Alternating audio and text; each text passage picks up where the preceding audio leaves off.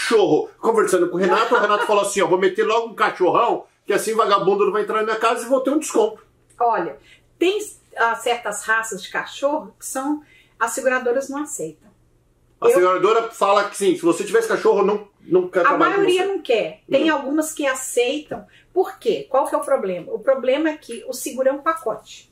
Então ele inclui o seguro do imóvel, mas inclui também a responsabilidade civil.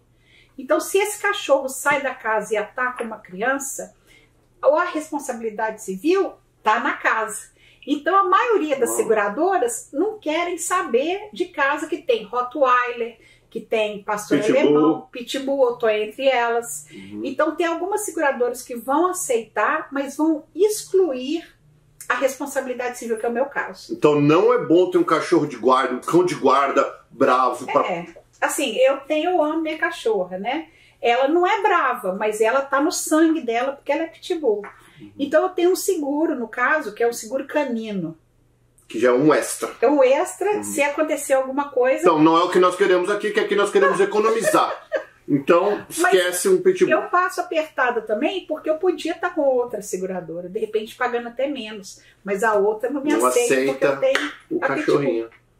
Cachorrão. Então, Renato, esquece esse negócio de ter um cachorro na tua casa. Põe alarme. Põe alarme que é muito mais em Mais conta. seguro. É, mais seguro.